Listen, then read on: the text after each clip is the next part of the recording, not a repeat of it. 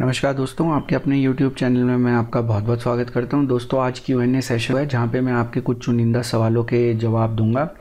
अगर आप इससे पहले जो क्यू एन ए सेशन मैंने अपने यूट्यूब चैनल पे अपलोड किया, अगर वो सब देखना चाहते हैं तो आप अपनी स्क्रीन पे दिखाए गए प्लेलिस्ट ऑप्शन को क्लिक करिए और जब आप प्लेलिस्ट के अंदर जाएँगे तो वहाँ पे आपको एक क्यू एन ए करके एक प्लेलिस्ट मिलेगी, जहाँ पे पहले के जो आठ क्यू एन ए सेशन मैंने अपलोड किए थे, जहाँ पे मैंने आप लोगों के सवालों के जवाब दिए थे तो वो आप इस प्लेलिस्ट के अंदर जाके पहले वाले आठ वीडियोस देख सकते हैं।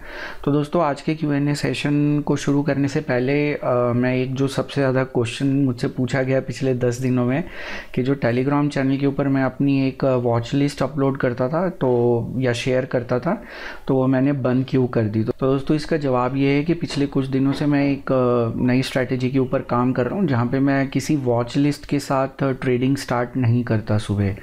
तो जैसा कि मैं आपको पहले भी बता चुका हूँ कि मैं सिर्फ़ निफ्टी फिफ्टी स्टॉक्स में ट्रेड करता हूँ। तो अगर जब सुबह शुरुआत होती है मार्केट की या जब मार्केट ओपन होती है उस समय सारे 50 के 50 जो स्टॉक्स हैं निफ्टी फिफ्टी के वो मेरी वॉच लिस्ट में होते हैं। और, और किस स्टॉक में मुझे ट्रेड करना है किसमें नहीं करना है या कब ट्रेड करना है किस समय मुझे एग्ज़िट करना है ये सब मैं जब मार्केट ओपन होने के बाद लगभग 10 बजे के बाद ये डिसाइड करना शुरू करता हूँ। और वो भी सिर्फ़ चार्ट्स को देख के।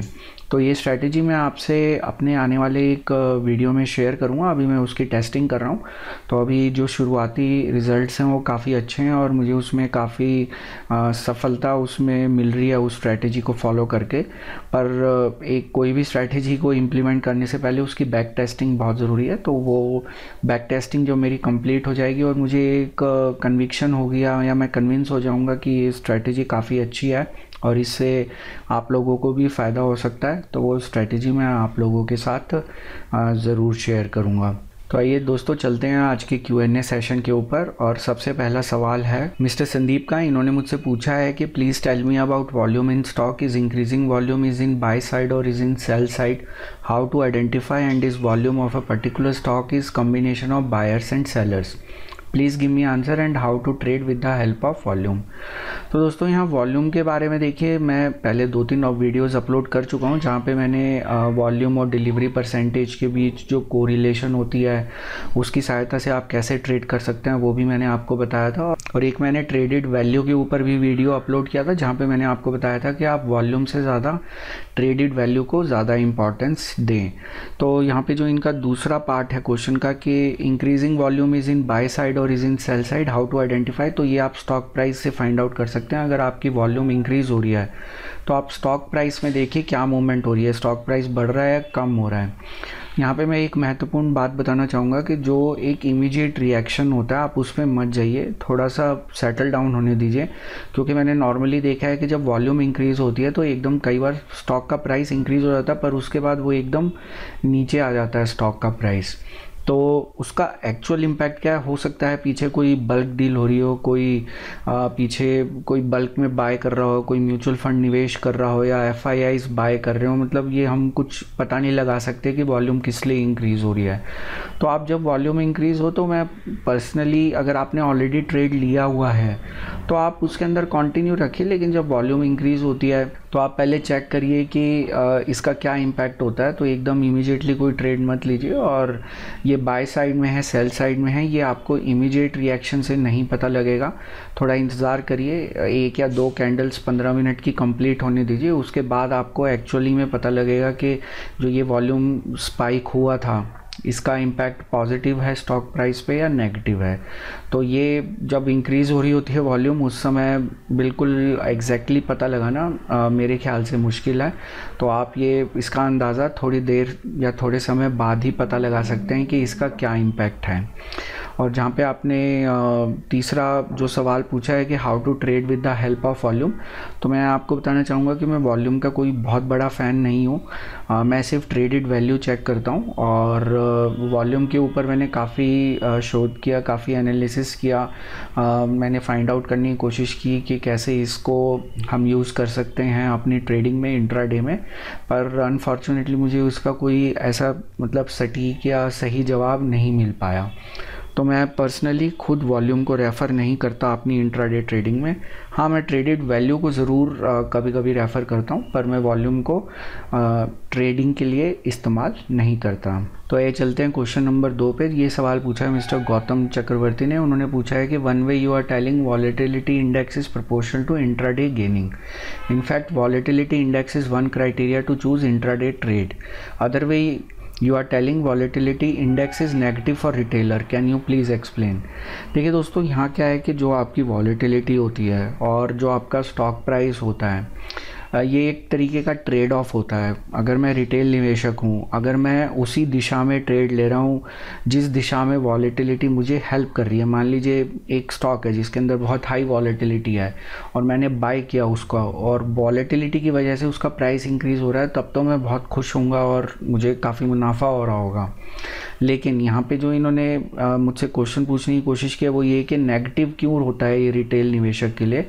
वो नेगेटिव इसलिए होता है कि अगर मान लीजिए आपने एक हाईली वॉलेटाइल स्टॉक में एक ट्रेड लिया और अनफॉर्चुनेटली वो स्टॉक विपरीत दिशा में मूव करना शुरू कर देता है तो जब तक आपको संभलने का मौका मिलेगा, तब तक आपका स्टॉप लॉस हिट हो चुका होगा या आपको एक काफ़ी बड़ा नुकसान हो चुका होगा। तो वॉलेटिलिटी इंट्राडे के हिसाब से सही भी है, सही तब है जब आप उसी दिशा में ट्रेड ले रहे हैं। और उसका नुकसान या नेगेटिव वो रिटेल निवेशक के लिए इसलिए अगर आप उसकी विपरीत दिशा में स्टॉक मूव करना शुरू कर देता है। तो वॉलेटिलिटी जो है वो फ़ायदेमंद भी है, नुकसानदायक भी है और ये एक तरीके का ट्रेड ऑफ़ होता है। आपको इसके अंदर एक बैलेंस करना पड़ेगा कि आप ज़्यादा रिस्क लेना चाहते हैं तो आप बहुत ज़्यादा हाईली वॉलेटाइल स्टॉक्स सेलेक्ट करिए। अगर आप कम रिस्क लेना चाहते हैं तो जिन स्टॉक्स में मीडियम वॉलेटिलिटी आप उनको सेलेक्ट करिए और अगर आप एक कंजर्वेटिव निवेशक हैं तो आप लो वॉलेटिलिटी स्टॉक्स को सेलेक्ट कर सकते हैं। तो मुझे उम्मीद है कि मैंने आपकी क्वेरी का पूरा ठीक से जवाब दिया। तो तीसरे नंबर का सवाल पूछा मिस्टर अभिमन्यु भाटिया ने उन्होंने पूछा है कि can you do a video on Ichimoku clouds तो दोस्तों ये रिक्वेस्ट मुझे काफ़ी दर्शकों से मिली है आ, कि मैं एक ईची मोकू क्लाउड्स के ऊपर वीडियो बनाऊँ पर मैं पर्सनली आपको बताना चाहूँगा कि मैं बहुत बड़ा फ़ैन नहीं हूँ ईची मोकू क्लाउड्स का। इसके ऊपर मैंने काफ़ी टेस्टिंग की थी बैक टेस्टिंग की स्ट्रैटेजी बनाने की कोशिश की और उसको कम्बिनेशन इंडिकेटर्स के साथ उनके साथ भी यूज़ करने की कोशिश की पर समहाव मुझे ऐसा लगता है कि ईची मोकू क्लाउड्स जो हैं हैं, वो आपकी जब मार्केट बहुत कम वॉलेटाइल होती है या जब साइडवेज में मार्केट होती है मार्केट में ज़्यादा मूवमेंट नहीं होती, तब वो आपको ज़्यादा बेहतर रिज़ल्ट देते हैं, ना कि जब मार्केट बहुत ज़्यादा वॉलेटाइल होती है। और इचिमुको क्लाउड्स का जो बेसिक प्रिंसिपल है, वो मूविंग एवरेज के ऊपर ही है। तो ये सिर्फ़ एक मतलब एक तरीके से कह लीजिए कि मार्केटिंग गिमिक होता है अलग अलग इंडिकेटर्स आपको उसका बेसिक या फंडामेंटल समझना बहुत ज़रूरी है। अब काफ़ी जगह लोग जो निवेशक हैं, वो यूज़ करते हैं मूविंग एवरेज बॉलिंगर बैंड्स और मोकू क्लाउड्स अब मुझे वहाँ ये नहीं समझ में आता कि ऐसा क्यों? क्योंकि तीनों का जो बेसिक प्रिंसिपल है, वो मूविंग एवरेज है। तो अगर आपने एक मूविंग एवरेज का इंडिकेटर यूज़ कर लिया, चाहे वो कोई भी हो। मान लीजिए मैंने जैसे आप पहले जो अपने पिछले हफ़्ते कुछ वीडियोस में आपको मूविंग एवरेज के बारे में बताया था। तो अगर मैं मूविंग एवरेज का इस्तेमाल कर रहा हूँ तो मुझे हो सकता है कि बॉलिंगर बैंड्स या इचीमोको क्लाउड्स की ज़रूरत ना पड़े, या एम की भी ज़रूरत मुझे ना पड़े। तो यहाँ पे जो मेरा कहने का मतलब है वो ये है कि इचीमोको जो क्लाउड्स हैं उसके ऊपर मैं काफ़ी उसके ऊपर रिसर्च कर चुका हूँ, पर मुझे ऐसा कुछ उसमें लगता नहीं कि आप उसको बहुत रिलायबल तरीके से यूज़ कर सकते हैं। तो मैं पर्सनली उसका फ़ैन नहीं हूँ, मैं यहाँ पे आपको ये नहीं कह रहा कि आप भी मत करिए। कोई एक स्ट्रैटेजी किसी एक निवेशक के लिए या ट्रेडर के लिए काम करती है, हो सकता है दूसरे निवेशक के लिए वो काम ना करे। तो मैं आपको बिल्कुल भी नहीं कह रहा कि चीज़ों को क्लाउड्स जो है आप मत इस्तेमाल करिए, ऐसा बिल्कुल भी नहीं है। पर मैं अपना पर्सनल आपको मैंने जैसा कि बताया कि मैं इचिमो को क्लाउड्स का फ़ैन नहीं हूँ, इसलिए मैं उसके ऊपर ज़्यादा अभी कोई रिसर्च नहीं कर रहा। आने वाले समय में अगर मैं करूँगा तो मैं आपके साथ एक वीडियो ज़रूर शेयर करूँगा। तो दोस्तों, यहाँ अगली क्वेरी जो है वो मिस्टर वैभव की है। उन्होंने पूछा है कि लंबे समय निवेश के लिए अगर कोई स्टॉक में वॉल्यूम कम है तो उसमें निवेश करना चाहिए या नहीं? तो इसका जवाब जैसे कि मैं अपने ट्रेडेड वैल्यू वाले वीडियो में भी दे चुका हूँ कि आप वॉल्यूम की जगह ट्रेडेड वैल्यू चेक करिए। अब आपके सवाल का जवाब हाँ या ना दोनों हो सकता है। वॉल्यूम कम किस लिए है? तो वॉल्यूम कम अगर मान लीजिए एक स्टॉक है जिसकी वैल्यू से पचास रुपये है, सौ रुपये है या दो सौ रुपये है तो ऑब्वियसली वहाँ उस स्टॉक में वॉल्यूम ज़्यादा होगी कंपेयर टू कोई एक दूसरा स्टॉक जिसकी वैल्यू हज़ार रुपये या डेढ़ हज़ार रुपये का वो स्टॉक है। तो यहाँ पे वॉल्यूम की जगह आप ट्रेडेड वैल्यू को चेक करिए और अगर आपको लग रहा है कि ट्रेडेड वैल्यू कम हो रही है या उसके अंदर वो ट्रेडेड वैल्यू जो एक लॉन्ग टर्म एवरेज से काफ़ी नीचे चल रही है तो इसका सीधा साधा मतलब ये होता है कि निवेशकों का उस स्टॉक में कोई इंटरेस्ट नहीं है। और ऐसे स्टॉक के अंदर अगर आप एक लंबे समय के लिए निवेश करना चाहते हैं तो मेरे हिसाब से वो एक सही निर्णय पर्सनली मुझे ऐसा लगता है नहीं होगा, क्योंकि अगर निवेशकों का उसमें इंटरेस्ट नहीं है तो स्टॉक में कुछ ज़्यादा मूवमेंट होगी नहीं और वो स्टॉक जो है एक साइडवे या एक काफ़ी कम रिटर्न्स आपको लंबी अवधि के दौरान देगा। तो हमेशा उन्हीं स्टॉक्स में निवेश करना चाहिए जहाँ पे जैसा कि मैं आपको बता चुका हूँ एफ़ आई आईज़ का जिन स्टॉक्स में इंटरेस्ट है या डी आई आईज़ का या म्यूचुअल फंड्स इन सब का जिन स्टॉक्स में इंटरेस्ट है आप उन्हीं स्टॉक में निवेश करेंगे तो आपको ज़्यादा बेहतर रिज़ल्ट मिलेंगे। दोस्तों आज की जो आखिरी क्वेरी है वो पूछी है मिस ट्रिल्मा रोज़ ने। आ, ये क्वेरी आ, मुझे काफ़ी अच्छी लगी क्योंकि ये क्वेरी मुझसे आज तक किसी ने नहीं पूछी पर ये एक बहुत इंपॉर्टेंट क्वेरी है और इसके ऊपर मैं काफ़ी रिसर्च भी कर चुका हूँ और इनका जो कंक्लूजन है, वो काफ़ी सटीक है इसका मैं कारण बताऊँगा कि ये ऐसा क्यों होता है। तो उन्होंने पूछा है कि वाई डू रिटर्न और mutual funds decrease every year for example if you check a funds performance the first and second year is mostly good but after third and fourth year the percentage keeps falling I am saying on basis of charts इन इन्होंने एक website यहाँ पे mention किया जो इन्होंने fund की performance इस website पे चेक किया तो प्लीज़ एक्सप्लेन देखिए, यहाँ ये जो जिन फंड्स की आप बात कर रही हैं, या जिन फंड्स को आप कंपेयर कर रही हैं आप देखेंगे कि जब ये आप इनकी कंपैरिजन करते हैं इन फंड्स की परफॉर्मेंस को दूसरे फंड्स के साथ, एक कैटेगरी के अंदर तो जिन फंड्स की परफॉर्मेंस ड्रॉप हो रही है या जिनकी जो रिटर्न्स हैं वो डिक्रीज़ हो रहे हैं, जो कि इनका बेसिक सवाल है, वो, ये वो वाले फंड्स हैं जिनका एसेट अंडर मैनेजमेंट या जिनका जो पैसा है, जो उस फंड के अंदर, उस म्यूचुअल फंड के अंदर जो निवेश हो रहा है, निवेशकों का, वो बढ़ता जा रहा है। तो जब निवेशक उस फंड के अंदर ज़्यादा पैसा निवेश करते हैं। तो जब ए यू एम इंक्रीज़ होता है तो फ़ंड की परफॉर्मेंस नॉर्मली ख़राब होनी शुरू हो जाती है। मैं यहाँ फ़ंड्स का नाम नहीं लेना चाहूँगा, लेकिन कुछ आप बहुत बड़े फ़ंड्स देखेंगे, वो पहले जब वो मीडियम फ़ंड्स होते थे मीडियम साइज़ के फ़ंड्स होते थे या स्मॉल साइज़ के होते तब वो बहुत अच्छा परफॉर्म करते थे। लेकिन जब वो लार्ज बन गए लार्ज मतलब ये नहीं लार्ज कैप की बात नहीं कर रहा मैं। मतलब जब वो उनके अंदर जो ए यू एम है, जो निवेशकों का पैसा है, वो एकदम वो साइज़ में लार्ज हो गए। तो उस केस में क्या है कि उस फंड की परफॉर्मेंस पे इम्पैक्ट होता है। अब इम्पैक्ट क्यों होता है? इसके पीछे कारण है। इसके पीछे कारण ये है कि अगर मान लीजिए मैं फ़ंड मैनेजर हूँ, मेरे पास सौ रुपये है निवेश करने के लिए तो मुझे काफ़ी सारी अच्छी अपॉर्चुनिटीज़ मिलेंगी वो सौ रुपये निवेश करने के लिए। लेकिन अगर वो सौ रुपये हज़ार रुपये हो जाती हैं तो आ, मेरे पास थोड़ी अपॉर्चुनिटीज़ कम हो जाएँगी क्योंकि अब मैं ज़्यादा पैसा तो मैं सोचूँगा कि कहाँ कहाँ पैसा लगाऊँ। जब वो हज़ार के दस हज़ार हो जाएँगे तो और अपॉर्चुनिटीज़ कम हो जाएँगी।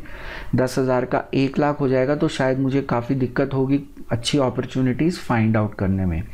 तो ऐसे केसेस में क्या होता है कि आप देखेंगे जो फंड के पास कैश होता है जो वो कैश अपने पास जो पैसा निवेश नहीं किया होता फंड ने तो वो इंक्रीज़ होना शुरू हो जाता है क्योंकि फ़ंड मैनेजर को ऐसे केसेस में समझ नहीं आता कि मैं अब ये पैसा कहाँ निवेश करूँ। तो यहाँ पे अगर मुझे एक शॉर्ट में इस क्वेरी का आंसर देना है तो उसका आंसर ये है कि जैसे जैसे फ़ंड का साइज़ इंक्रीज़ होता जाता है, वैसे वैसे फ़ंड जो मैनेजर होता है, उसके लिए जो अपॉर्चुनिटीज़ होती हैं, जो अच्छी अपॉर्चुनिटीज़ होती हैं, वो फाइंड आउट करना मुश्किल होता है, क्योंकि जहाँ पे ज़्यादा पैसा निवेश करना है तो वहाँ पे आपको अच्छी अपॉर्चुनिटीज़ लिमिटेड हैं। तो इस चीज़ का आप ध्यान रखिए कि अच्छी अपॉर्चुनिटीज़ अगर मार्केट में सिर्फ़ दस हैं, और अगर आपके पास कम पैसा है तो आप वो सारी अपॉर्चुनिटीज़ टैप करें, लेकिन जैसे जैसे आप का अगर पैसा आपका निवेश बढ़ता जा रहा है तो आप सारे पैसे उन्हीं अपॉर्चुनिटीज़ में नहीं लगा सकते, तब आप और अपॉर्चुनिटीज़ की तलाश करेंगे और वहाँ पे गलती होने के चांस ज़्यादा होते हैं। तो जो फंड होते हैं, जो नॉर्मली मिड साइज़ फंड होते हैं, जिनका साइज़ अभी बड़ा नहीं है या ए जिनका अभी ज़्यादा नहीं है वो नॉर्मली अच्छा परफॉर्म करते हैं, जो छोटे फंड्स होते हैं, वो ज़्यादा अच्छा परफॉर्म करते हैं कंपेयर टू जो बहुत बड़े साइज़ में फ़ंड्स होते हैं, जिनके पास बहुत ज़्यादा पैसा होता है, वो फंड्स थोड़ा कम, बेहतर परफॉर्म करते हैं। तो इसलिए आप जिन फंड्स की बात कर रहे हैं, अगर आप एक कोई अच्छा फ़ंड उठाएँगे जो आज फाइव स्टार फंड है तो मोस्टली ऐसा होता है कि वो normally four star three star two star बन जाता है कुछ समय बाद। उसके पीछे कारण यही होता है कि जो फाइव स्टार फंड है, उसमें निवेशकों का काफ़ी ज़्यादा इंटरेस्ट आता है। लोग अपना पैसा उसमें डालना शुरू कर देते हैं तो अभी तो वो अच्छी परफॉर्मेंस दे रहा है, शायद वो पहले दूसरे साल में है। जब आप उसको ट्रैक कर रहे हैं, जिस साल को आप ट्रैक कर रहे हैं। लेकिन जब ज़्यादा निवेशक उसमें पैसा डालना शुरू करेंगे तो फिर वो उसकी परफॉर्मेंस गिरनी शुरू हो जाती है। क्योंकि जब वो फंड का साइज़ बढ़ता जाता है तो फंड मैनेजर के लिए जो एडिशनल फंड्स आ रहे हैं, उनको कहाँ पे डिप्लॉय किया जाए, कहाँ निवेश किया जाए, वो पता लगाना उसके लिए मुश्किल होता जाता है फ़ंड मैनेजर के लिए। तो इसलिए हमेशा अगर मैं निवेश कर रहा हूँ अगर म्यूचुअल फंड्स में तो मैंने जैसे अपने इस वीडियो में भी बताया था जो ये बेस्ट म्यूचुअल फंड रैंकिंग वाला वीडियो है कि आप रेगुलर इंटरवल पे अपने फ़ंड की परफॉर्मेंस को इवेल्युएट करते रहें। और अगर आप इक्विटी लिंक म्यूचुअल फंड्स में आप निवेश कर रहे हैं, जो इक्विटी बेस हैं तो उसमें एक साल बाद आपका कैपिटल गेन ज़ीरो होता है लॉन्ग टर्म कैपिटल गेन शून्य होता है तो आप एक साल बाद उसके अंदर अगर पैसा निकाल लें अगर वो फ़ंड ठीक से परफॉर्म नहीं कर रहा और किसी नए फ़ंड की तलाश करें जो अब अच्छा परफॉर्म कर रहा है। तो उससे जो ये समस्या इन्होंने इस क्वेरी में बताई है, वो समस्या ख़त्म हो जाएगी और आप हमेशा एक अच्छे फंड में आपका निवेश रहेगा। अगर आप अपने जो म्यूचुअल फंड इन्वेस्टमेंट है, उसको रेगुलर इंटरवल पे आप इवेल्युएट करते रहेंगे और अपने फंड्स को जो है, रोटेट करते रहेंगे। अपने निवेश को जो रोटेट करते रहेंगे और हमेशा एक या डेढ़ साल बाद आप फिर से चेक करिए कि कौन सा फ़ंड इस समय अच्छा परफॉर्म कर रहा है। आपका फ़ंड अगर अच्छा परफॉर्म नहीं कर रहा तो वहाँ से पैसा निकाल के आप एक दूसरा जो एक फ़ंड बहुत अच्छा परफॉर्म कर रहा है, उसमें आप पैसा डालिए ताकि आप, को एक अच्छे रिटर्न्स मिल सकें कंपेयर टू मार्केट एवरेज दोस्तों, मुझे उम्मीद है कि आज का ये क्यू एन ए सेशन आपको पसंद आया होगा। अगर आप इसी तरीके से चाहते हैं कि आपका सवाल भी क्यू एन ए सेशन में शामिल हो तो आप नीचे दिए गए कमेंट सेक्शन में अपना सवाल पोस्ट कर सकते हैं और ये वीडियो अगर यदि आपको पसंद आया तो आप नीचे दिए गए लाइक आइकन पर भी ज़रूर क्लिक करें। इसी तरह जानकारी से भरपूर और ज्ञानवर्धक वीडियोज़ देखने के लिए आप अपनी स्क्रीन पर दिखाए गए सब्सक्राइब ऑप्शन को क्लिक करें या नीचे दिए गए सब्सक्राइब बटन को भी दबा सकते हैं। और उसके साथ दिए गए बेल नोटिफिकेशन को क्लिक करना ना भूलें, उससे आप सभी वीडियो सबसे पहले देख पाएँगे। दोस्तों, इस वीडियो का एक डिस्क्लेमर भी है, जो कि इस वीडियो की शुरुआत में दिखाया गया है। मैं आपसे अनुरोध करूँगा कि आप उस डिस्क्लेमर को ज़रूर पढ़ें और इस वीडियो को देखने के लिए आपका बहुत बहुत धन्यवाद।